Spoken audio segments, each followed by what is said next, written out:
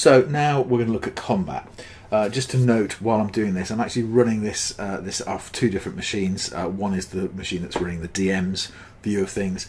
The other is the player view, which is the screen that you're looking at right now. Um, so there's probably going to be a little bit of delay as I move backwards and forwards between the two machines, just so you know what's going on there.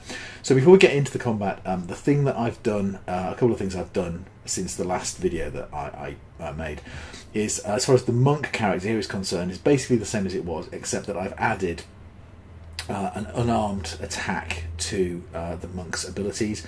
Uh, this is because there's uh, there's a whole bunch of stuff that monks do with unarmed, which uh, it felt worth having if I'm going to be showing combat. Hopefully, we'll get around to including that in the combat. The other thing that I've done is I've added uh, another one of the trial characters that we've set up. This cleric. Uh, mostly because he's got some spells, and I wanted to show how spells work. Uh, potentially, he's got a lot more spells than this, uh, but this here is the spell slots he would have available to cast. I've just added a few so you can see how different kinds of spells might work, uh, but that's the basics. So, when it comes to combat, what's going to happen is um, there are, you know, in, in the game there will be maps, there will be areas that you'll be exploring as players. And when it comes to combat, one of the things that you'll we'll need is an actual map that shows relative positions and you know the kind of the whole how all the combat plays out. So for those on those occasions, uh, what's going to happen is that the DM uh, is going to make a map visible to the players, and that map is the one that, uh, for example, right now I've just put up on screen. So this is a map of some docks. Uh, at the moment, there are no particular details on it except for this pin here. Uh, and if you click on that pin, you get a little bit of story. So this is really just the colour, the flavour of what's happening. It tells you that. Um, and obviously, in, in, regular play, this is the sort of stuff that will just come up in the narrative. But it tells you that you're kind of cautiously descending some stairs towards the lower docks. There are some statues uh, in, that you can see between you and the, the water, and there are some piers uh, that are in a bit of a, a bad state of, of, disrepair and decay, uh, and that's what you have, uh, what what you're faced with as you're approaching the docks. Now, obviously, want, we're going to have some combat. So the next thing that's going to happen is that the DM would say, for example, suddenly uh, away in the distance between you and the the water's edge, you see a couple of figures detach themselves from the shadows and move towards you menacingly. And at that point, those characters, those NPCs, are going to be made visible to you. And so the first one of those uh, is now visible, and the second one of those is now visible, and you can see two figures here in the distance. so um, the, these figures are, are, these tokens represent the NPCs that you'll be fighting. Um, in this instance, I've given them labels, so you can see that they are two two examples of rat folk. Um, uh, in other circumstances, when it's not clear or you don't know what it is you're facing, then those those labels would probably not be displayed. The other thing to note is this green dot here demonstrates that this this particular NPC is healthy. So as combat unfurls, this uh, unfolds, this uh, this color will change. This, this, indicator will change, so you can keep track of which of the, the the various combatants have taken damage. So the other thing that's going to happen at this point is the, the, the DM is going to open up the combat tracker uh, and put the bad guys into it. So if you if you open the combat tracker now, uh, you'll see nothing in it until the DM makes the two items in this case, the two bad guys in this case, visible within the combat tracker. Now, obviously, there are no players in the combat tracker at the moment, and that again is something that the DM will do at this point. So, the DM is going to add the cleric and the monk to the combat tracker, uh, and at the same time is going to put onto the map the tokens for those two characters. Now the DM has to place them, but now that they're in place, the owner of that character can take that token and move it around, do whatever they like with it. So I can move this one to here and I can move this one to here. Obviously, at the moment, I'm owning two characters, but you'll only need to worry about one at a time.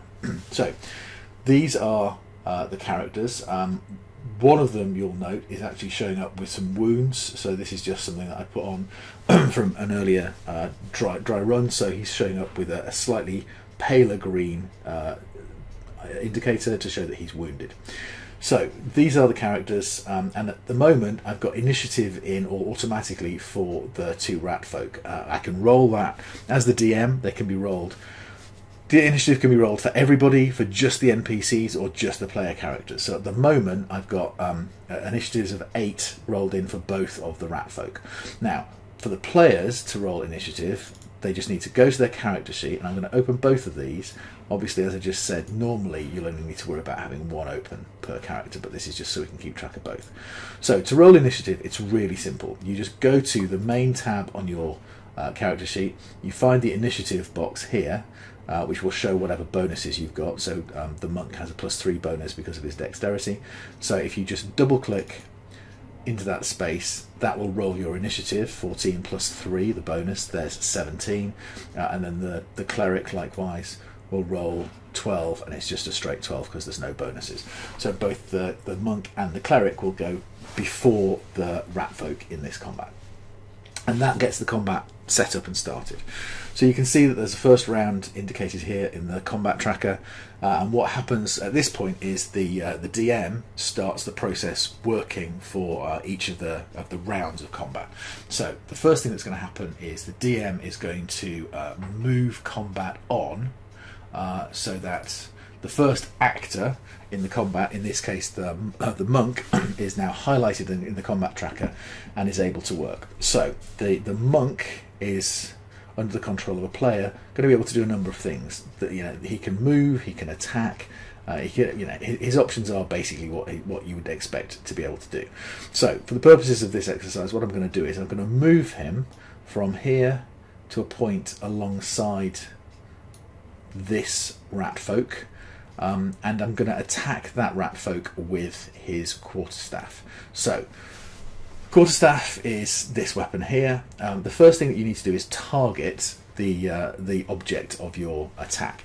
In order to do that on a PC, you need to hold down Control and click on the icon of what you're uh, looking at. So here, this is now telling you targets Ratfolk 1. So it's really clear. There shouldn't be any hesitation about you having the right thing targeted. It should make it really, really easy for you just to um, to select the right things. I'll talk in a second about things like area of area of effect attacks. So now that you've got the rat folk, rat folk targeted and you're going to attack with the quarterstaff, there's a couple of things you can do. Either you can just double click on this attack, or you can drag this, click and drag this attack into the chat window, uh, which is where all the dice rolling happens, or you can click and drag that attack onto the token of the um, that you have targeted. Um, generally speaking, it's entirely up to you which you prefer. I'm just going to do this this way. Roll the dice.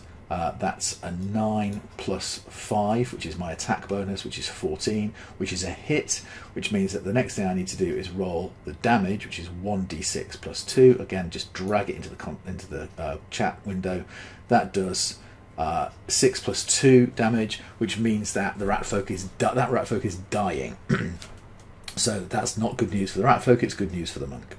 Um, so that's then the end of the um, that turn for the um, for the monk. So the DM is going to move things on to the next person in the uh, in the combat, and that's the cleric. So at this point, um, there's not a lot that I necessarily need to do in combat terms because I think this is going to be pretty one-sided. But to show you how spells work, um, I'm going to look at the. I'm going to close the monk for a second to get him out of the way.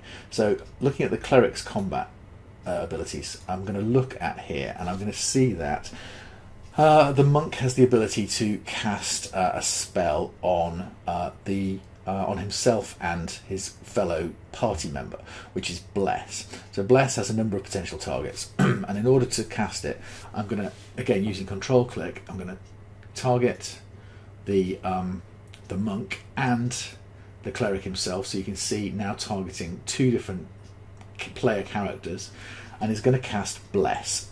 so Bless is a spell that gives uh, a 1d4 additional roll on all attacks and a 1d4 additional roll on all saves for its duration. so, casting Bless, what you can now see over here is that there is an effect um, which has been applied to uh, the, the monk character and to the cleric himself, uh, which is to have 1d4 on attacks and saves.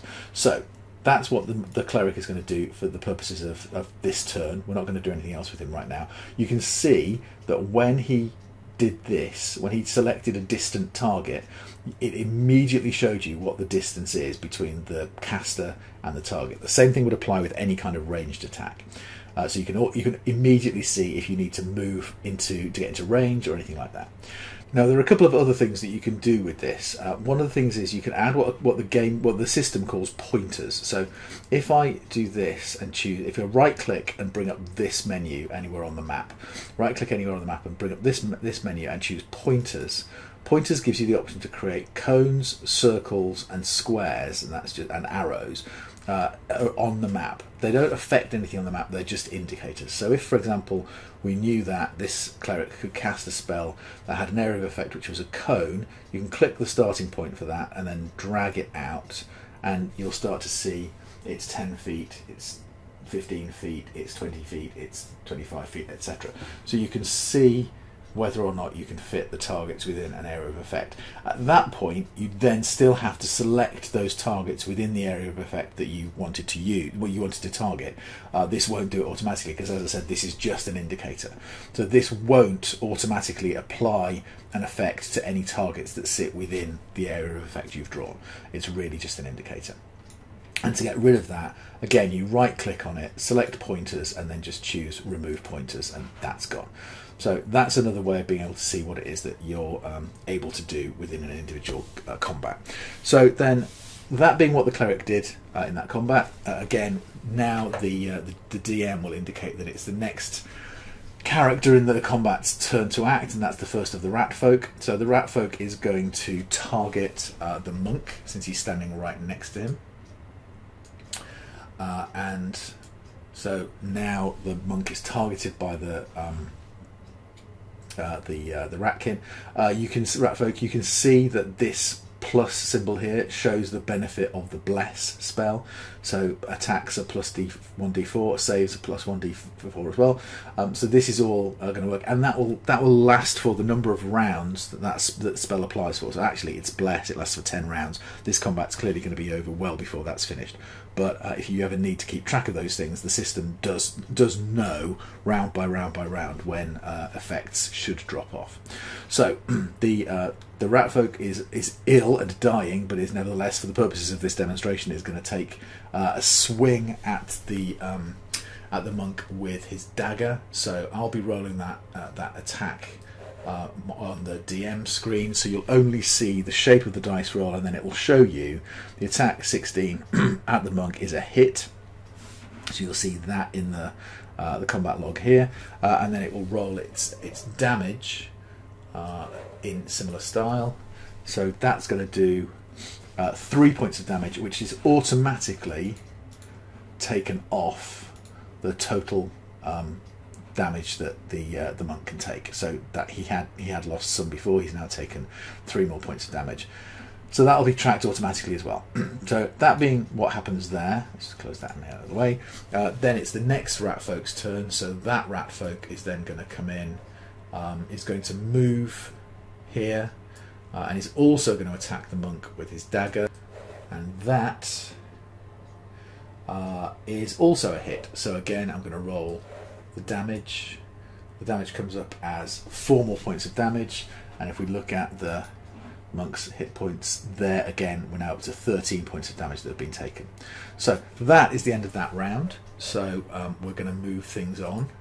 We're now into round two, which if I just move this, you'll see is now automatically displayed, and we're back to the monk. So the monk is going to take, is once again going to attack the first of the rat folk. Um,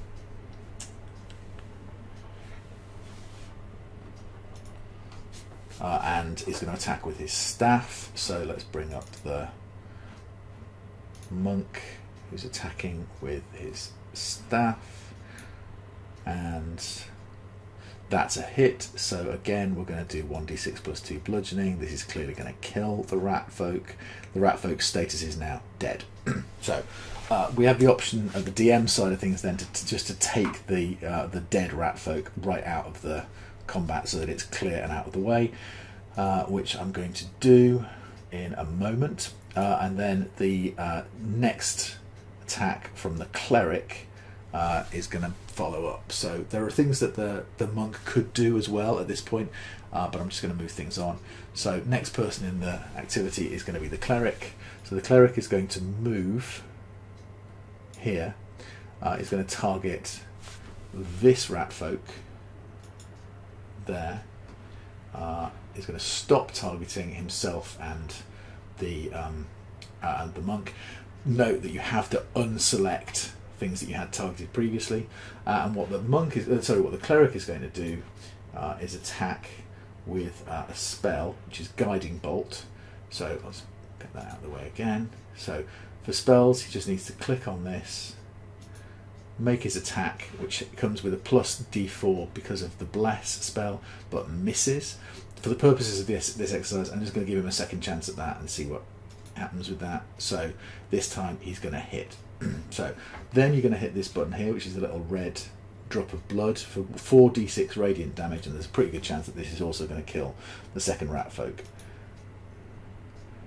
And the rat folk is dead. So they both now have this grey icon indicated to show that they are in fact dead, and that combat is then over.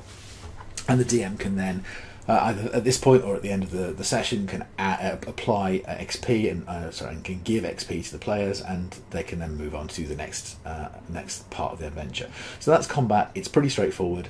Hopefully, uh, all of that makes sense. Um, there are a few little quirks that as you play, you'll start to get your head around. The control click on things to target, remembering to untarget things uh, from one round to the next, things like that. You definitely need to keep an eye on. Some of the, uh, the the situational conditions that can apply, certain things like advantage or disadvantage or modifiers to dice, they're things that we'll need to, to work with as we go. Generally speaking, uh, it does look after an awful lot of the, the intricacies of combat, pretty much uh, without you needing to think too much about it. Uh, so that is combat.